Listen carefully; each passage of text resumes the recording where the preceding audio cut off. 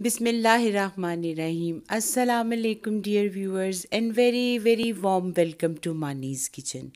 Allah ताला से उम्मीद रखती हूँ कि आप सब लोग खैरियत से होंगे और दुआ गो हूँ कि आप सब लोग हमेशा खुश रहें, आबाद रहें, हँसते बसते और मुस्कुराते रहें। आमीन, अल्लाहुम्मा आमीन। तो जनाब, आज मानीज़ किचन में बन रहा है बहुत ही ज़बरदस्त ऑरेंज चिकन ये इतना मज़ेदार बनता है कि मैं अगर ऐसे बताऊँगी तो आपको यकीन नहीं आएगा। यकीन करने के लिए आपको इसे ख़ुद एक दफ़ा ट्राई करना पड़ेगा। तो आइए फिर बग़ैर देर किए चलते हैं रेसिपी की तरफ़।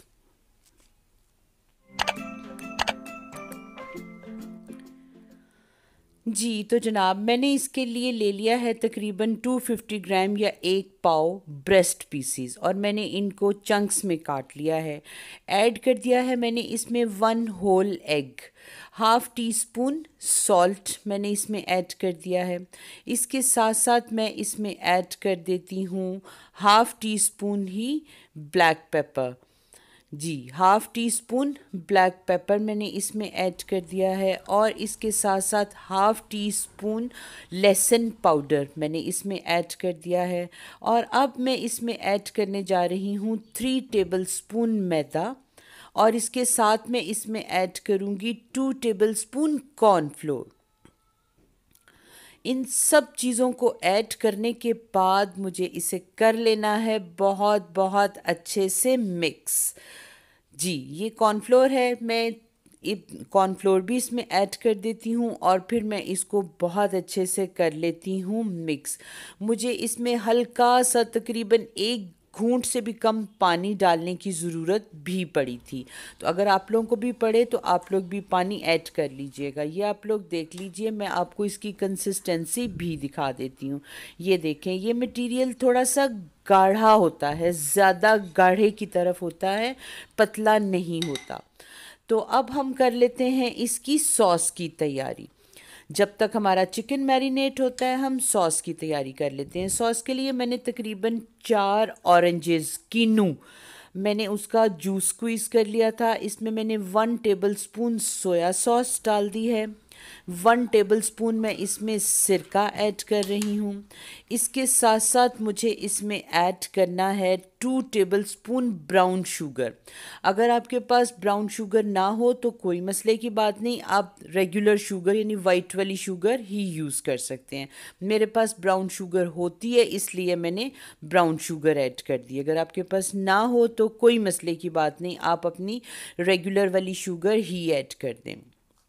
और ये इतना ज़बरदस्त बनता है, बहुत ही मज़ेदार बनता है। आप यहाँ पर सिरका, सोया सॉस या शुगर की मकदार कम ज़्यादा करना चाहें तो it is up to you इसमें भी मैंने हाफ़ टी स्पून सॉल्ट और मैंने ऐड कर दिया है। साथ ही मैं इसमें half teaspoon black pepper add कर दिए। सॉरी एक चीज़ जो मैं पिछले बैटर में डालना भूल गई थी, वो था इसमें मुझे एक चुटकी बेकिंग पाउडर ऐड करना है, क्योंकि मेरे, मैंने चंक्स लिए हुए हैं ब्रेस्ट पीसीस तो इससे ज़रा गलने में आसानी रहती है। जी तो जनाब, अब जैसे ही इसको तकरीबन कम से कम आप लोग आधा से एक घंटा मैरिनेशन के लिए ज़रूर दीजिएगा। ठीक हो गया? जी तो इधर मैंने ऑयल कर लिया है गरम एक घंटे के बाद और मैं उसमें सारे पीसेस डाल देती हूँ और इनको मैं बहुत अच्छे से मीडियम हीट के ऊपर फ्राई कर लेती हूँ।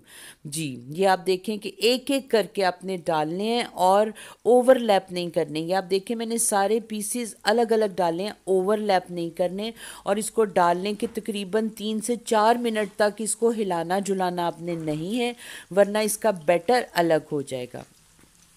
जी तो आप देखें कि पीसेस फ्राई हो रहे हैं और जब इनको तीन से चार मिनट हो जाएँगे तो ये देखें मैं अब तीन से चार मिनट के बाद इनकी साइड्स टर्न कर दूँगी और देखें इससे बहुत अच्छा बैटर इनके ऊपर ही कोट हुआ हुआ है। अगर मैं इनको जल्दी हिला देती तो सारा बैटर उतर जाता।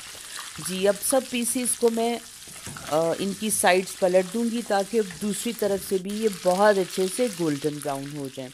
बीच बीच में मैं इनको हिलाती जुलाती भी रहूँगी ताकि ऐसा ना हो कि कहीं से तो ब्राउन हो जाएँ और कहीं से रह जाएँ। बीच में आप हिलाते जुलाते रहें, इनको अच्छी तरह, लेकिन हमने इनको बहुत डार्क गोल्डन नहीं करना। जैसे ही इनका एक अच्छा प्यारा सा कलर आए तो ये बिल्कुल पक जाते हैं। और इनको बहुत ज़्यादा नहीं पकाना होता, वरना ये अंदर से हार्ड हो जाते हैं और जूसी नहीं रहते। जी तो जनाब, बस थोड़ी ही देर में ये बिल्कुल अच्छे से फ्राई हो जाते हैं और इनको फ्राई करने के बाद हमने किसी भी बास्केट में निकालना है।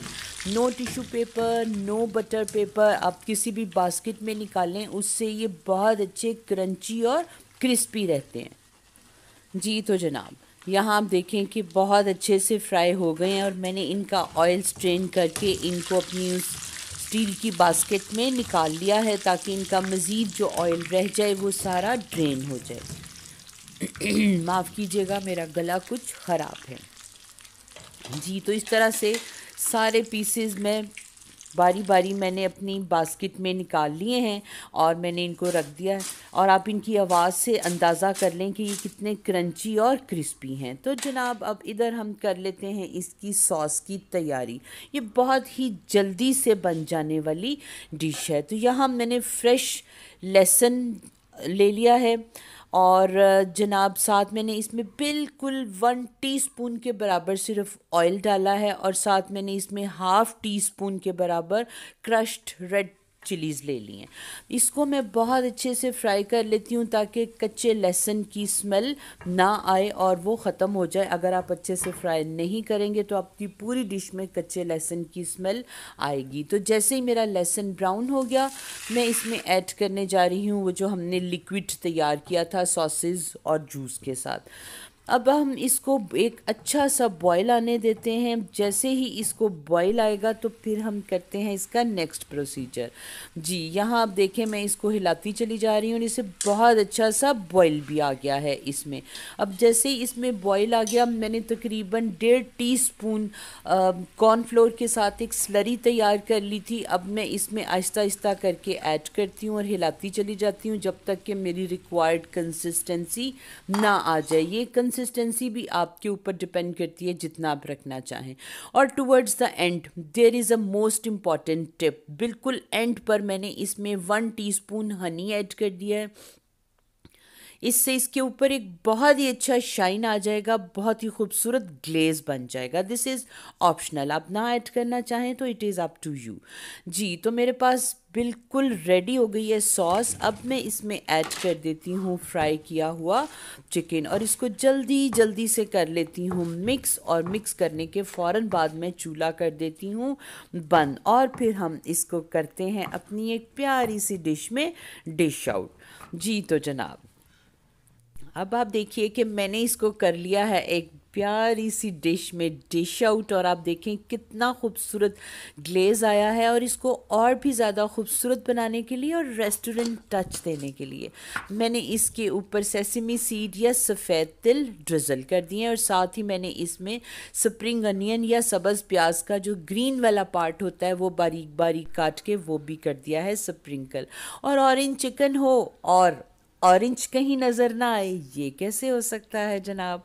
तो मैंने इसे ऑरेंज स्लाइसेस के साथ बहुत ही खूबसूरत तरीके से कर दिया है। प्रेजेंट तो इस तरह से हमने तैयार कर लिया है बहुत ही ज़बरदस्त, मज़ेदार सा ऑरेंज चिकन ये एक बहुत ही ज़बरदस्त डिश है. आई वुड हाईली रिकमेंड कि आप लोग इसको ज़रूर ट्राई कीजिएगा.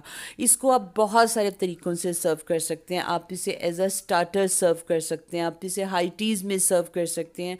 आप इसे प्लेन राइस के साथ सर्व कर सकते हैं. आप इसे चाइनीज़ राइस के साथ सर्व कर सकते हैं.